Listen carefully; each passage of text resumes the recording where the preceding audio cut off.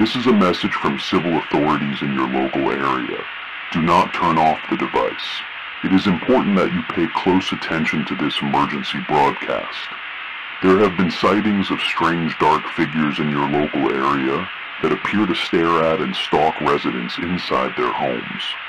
These figures frequently appear in people's peripheral vision and around corners in their homes. They are known to stay in the same position until approached, where they will then vanish and appear again at a later time. Depending on where the person is in their home, they may appear in the same or different positions. They are more inclined to be in dark areas and tend to avoid appearing in lighted areas.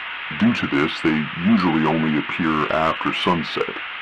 The figures do not have a uniform shape, with the exception being their supposed head, where you can visibly see two very small white eyes staring at you at all times.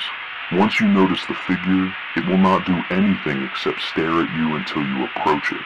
The figures are not a threat to your life unless you anger them. What angers the figures is not explicitly known, but it has something to do with showing visible fear of them.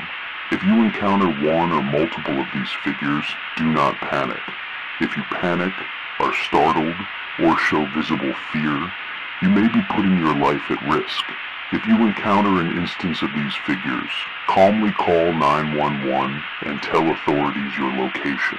A specialized individual will be sent to your location to deter the figures. Again,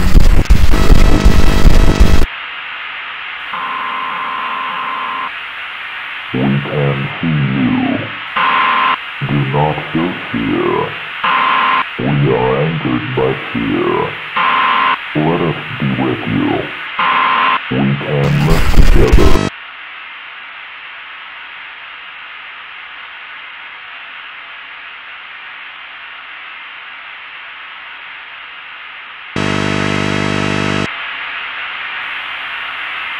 We can see you.